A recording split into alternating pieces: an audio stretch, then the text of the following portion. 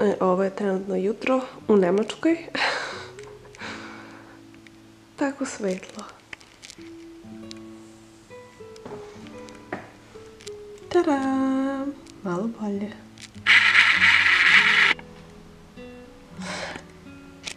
Malo si igram.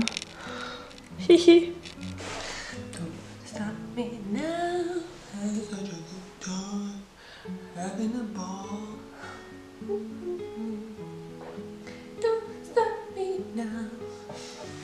Ko je još zaražen Queenom od premijere?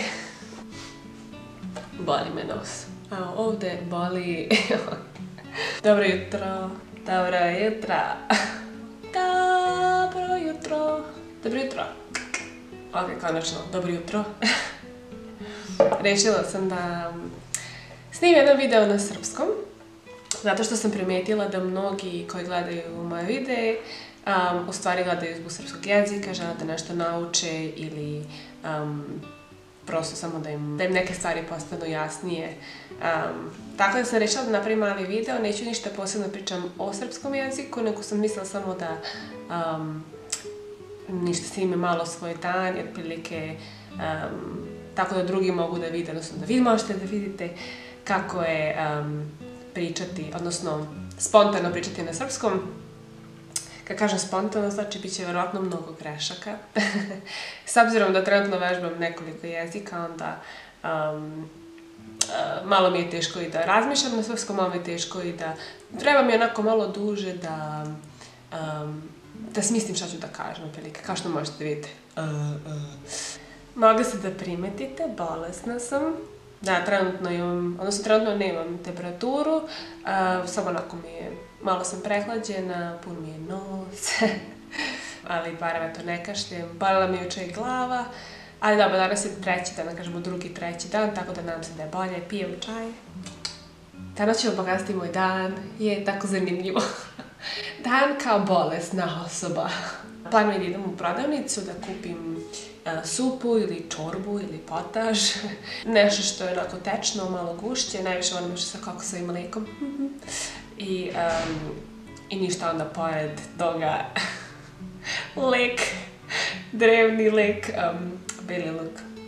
Ne bi ništa stvarno da kuvam, ne osjećam se baš najbolje, ali s obzirom da juče i danas nisam, odnosno juče nisam radila i danas neću raditi, onda sam rešila da završim neke stvari pre praznika, zato što svejedno moram da držim neko predavanje, odnosno neku prezentaciju u januaru, tako da um, moram završiti pre praznika. I um, danas je taj dan. Tako da će biti zanimljivo. ne, ne znam da će biti i meni zanimljivo, ali dobro. Ništa, uživajte u divnom srpskom jeziku. Nadam se da vam zvuči lepo, nadam se da izgovaram sve kako treba. I e, ništa, pridružite, pridružite se zabavi. Hello! Testiram svoju kameru, malo se igram. Zdravo, zdravo! Tik, tik, tik. Aha, a vidi sad. A vidi sad, a vidi me. A. Mm, nekako mi je preblizu ova kamera. Ovaj, op, sada. Lepota. Htjela sam da pustim jedan video, ovaj, to je video jednog dečka iz Renjanina, zove se Zoza. Um, moja sestra mi je predložila da vidim i baš mi se jako dopada pesma, jako mi se dopadaju njegove, njegov stil, mislim da ima talenta, um, tako da sam htjela baš da pustim mali deo, nadam se da nije copyright vidjet ćemo. Ali ako vas zanima nešto u stilu R&B na srpskom, check it out za vas. Znači Zoza, znači vidjet će. Zoza uleće klizeš, kođe na rovu, zato šta mi pizdiš, znači. A, snim. Deco, jedite voće. Waffle. Nema reklama.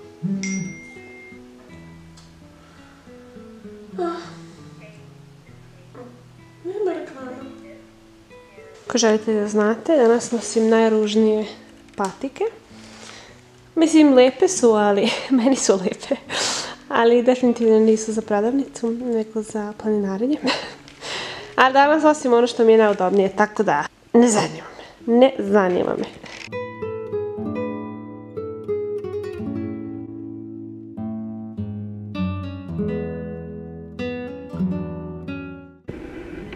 Ovo normalno vreme u Nemačkoj, tako da očekujte oblačno i kišu. Ovo je moj ručak, odnosno doručak. S obzirom na to da sam bolesna, napravila sam tost. Ja volim kad je malo prepečeno. I, i ništa, ovdje imam čorbu. To je, kupila sam čorbu od um, bundeve. Unutra imaš mango, celer i tako nešto. Some good stuff. A ono što ovdje možda se ne vidi, možda se to vidi ovdje makice, da vidimo. to je luk, beli luk. I iza toga postoji naravno jedna priča.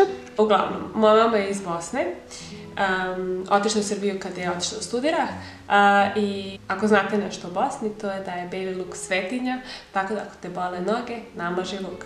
Ako te boli stomak, pojedi luk. Ako si depresivan, pojedi luk. tako da luk će pomoći u svemu.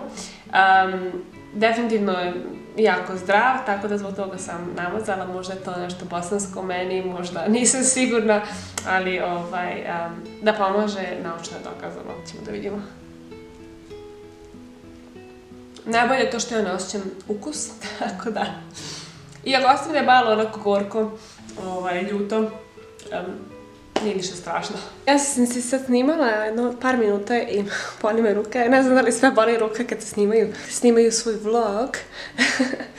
Ali bila sam sad, eh, jela sam jer je lepo mirišem na beli luk. Poslije toga sam se bavila nekom papirologijom, treba da završim neke stvari za stan, pošto delim stan sa drugim ljudima i sad nam dolazi um, nov cimer, odnosno docimer. Odnosno devojka je.